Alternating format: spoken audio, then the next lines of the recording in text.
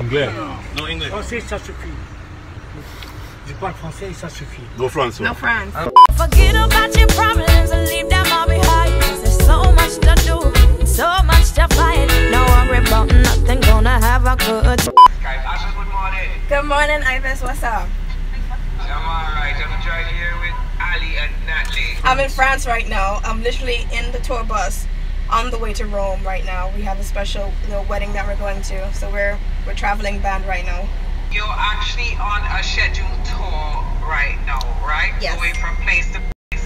How how was your life changed as an artist? Because you're you're actually transition transitioning from just a local regional artist to an international star now. What does it feel like? Are you excited? Is it Oh. hard work? What?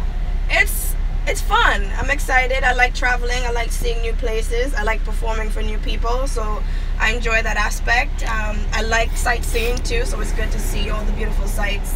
I'm enjoying it. I appreciate it, and I'm grateful.